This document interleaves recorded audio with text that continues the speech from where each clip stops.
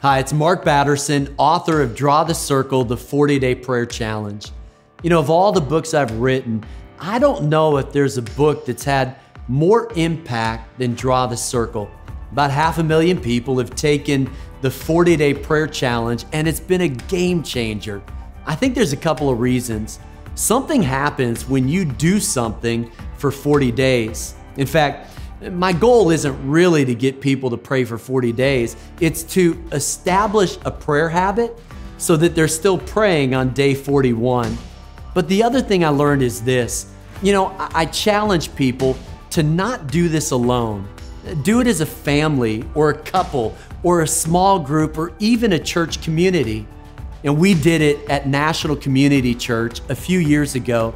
And there were so many miracles, so many breakthroughs that God did. You know, part of it is just being on the same page as a church and heading in the same direction.